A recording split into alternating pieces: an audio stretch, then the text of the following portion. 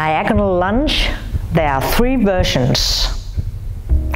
First, you have a front lunge. And when you turn the front lunge at a diagonal, you still have a front lunge, but with a diagonal direction.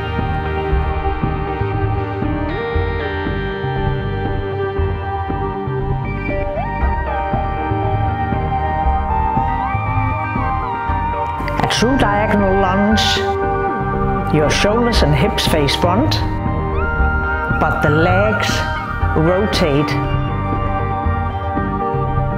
at a diagonal, twist, twist.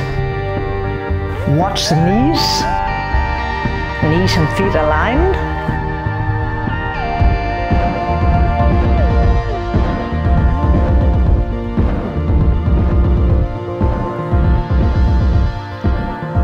Last one, a transverse lunge where you pivot with the opposite leg in front of the supporting leg.